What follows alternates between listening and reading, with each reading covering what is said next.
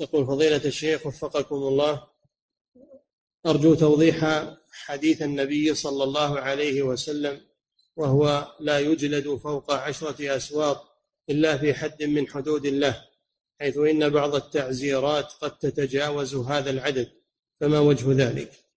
هذا محل بحث عند أهل العلم فمنهم من يقول التعزير لا يزيد عن خمسة أسواط عملا بها بظاهر هذا الحديث. ومنهم من يقول يجوز الزيادة في التعزير حسب المصلحة حسب الرادع ولو زاد على خمسة أسواط وإنما قوله صلى الله عليه وسلم في حد يعني في معصية. أما التأديب في غير معصية تأديب في بيان الأولى والأدب اللائق أو غير ذلك هذا يكون في حدود خمسة أسواط وأما إذا كان الأمر معصية فيزاد على على الخمسة حتى يرتدع.